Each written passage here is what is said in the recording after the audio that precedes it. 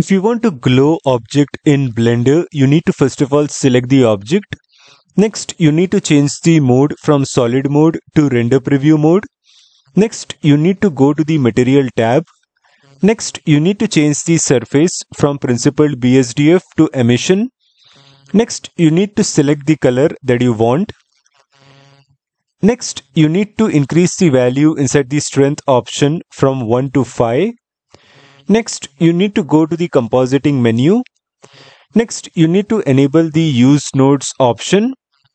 Next, you need to add the glare node. So press shift A and now search for the glare node. Next, you need to place the glare node between the render layers node and the composite node. Next, you need to change the glare type from streaks to bloom and now increase the value inside the threshold option from 1 to 4.5. Next, you need to go to the layout menu. Next, you need to press F12. And that's it.